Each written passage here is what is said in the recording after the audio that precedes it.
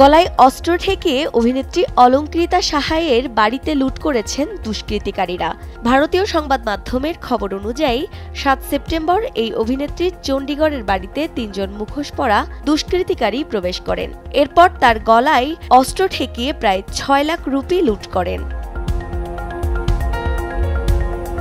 থানায় লিখিত অভিযোগে এই অভিনেত্রী দাবি করেন, ডাকাতির সময় একজন তার কাছ থেকে এটিএম কার্ড ছিনিয়ে নেয় আর দুজন তার ওপর নজর রাখছিলেন। কিছুক্ষণ পর পঞ্চাশ হাজার রুপি ও এটিএম কার্ড তার হাতে ফিরিয়ে দিয়ে তারা চলে যায়। এরপর এই অভিনেত্রীর সাহায্যের জন্য চিৎকার করলে দুষ্কৃতিকারীরা বারান্দা দিয়ে লাফ দেয় এবং পালিয়ে যায়। পরবর্তী সময়ে অভিনেত্রী পুলিশের শরণাপন্ন হন।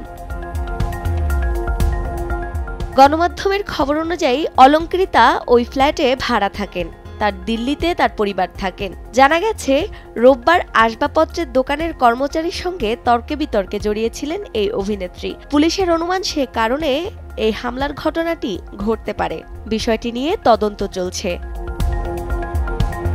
মডেলিং এর মাধ্যমে শোবিজ দুনিয়ায় পা রাখেন অলঙ্কৃতা। ল্যাকমি ফ্যাশন উইকে অংশ নিয়ে নজর কাড়েন তিনি। পাশাপাশি বেশ কয়েকটি বিজ্ঞাপনেও কাজ করেছেন। এছাড়া লাভপার স্কোয়ার ফিট সিনেমাতে অভিনয় করেছেন তিনি। এতে তার সঙ্গে ছিলেন অভিনেতা ভিকি কৌশল। এছাড়া অলঙ্কৃতার টিপসি সিরিজটি বেশ জনপ্রিয় হয়।